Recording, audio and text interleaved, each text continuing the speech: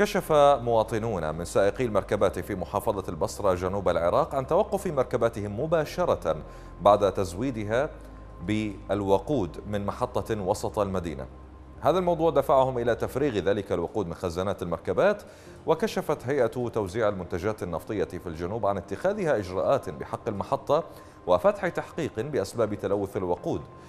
وهل كان ذلك بعمد أو بدون عمد؟ قال عدد من سائقي الشاحنات إنهم بعد أن أكملوا ملء خزانات مركباتهم تفاجؤوا بتوقف المركبات عن الحركة تماما. مرجحين خلط الوقود بالماء أو بسبب آخر أدى لتلوث البنزين بحسب قولهم. وأشاروا إلى أن عناصر من قوات الشرطة وموظفين من الجهات الرقابية وصلوا إلى المحطة للاستماع إلى شكواهم وأعربوا عن عزمهم مقاضاة المحطة أو الجهة المسؤولة عن ذلك الوقود الرديء. فلنشاهد هاي محطة حي الرسالة. تفويل ماي. للسيارات. ماي باعوا له ماي؟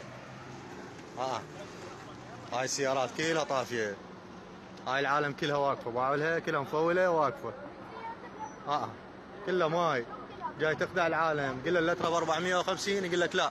اللترة ب 500 ويتعارك وياك. هاي شوفوها. شنو ذنب هاي العالم؟ سياراتها كلها طافية. وما حد موجود بالمحطة. كلها شاردة. آه إيه لا شاردة ولا واحد موجود. لا مسؤول لا رقيب لا حسيب. آه هي المحطة تفول ماي للعالم هذا باع له ماي على بطنه. شوفه.